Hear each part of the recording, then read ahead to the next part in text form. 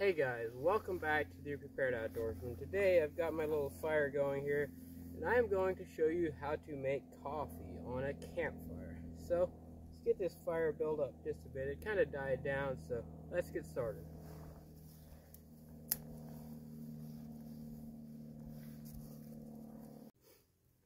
Alright, now my fire is nice and built up. It's beginning to flame again. I'm going to put my water on here, let that heat up.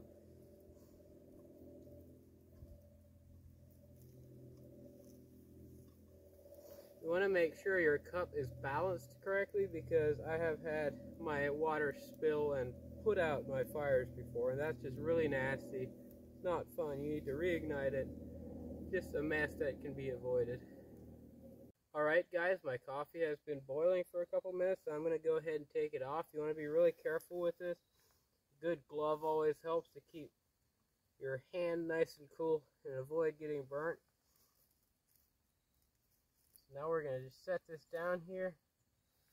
And what you'll notice with camp coffee, it's very easy to get a mouthful of the coffee that's already been cooked and it's nasty. So what I normally do, I take a bit of cool water from my canteen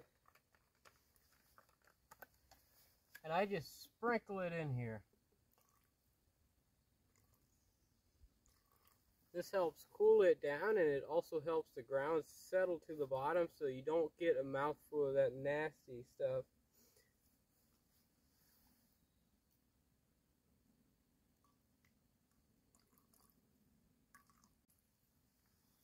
Alright guys, the next and final step is to enjoy. Thank you for watching.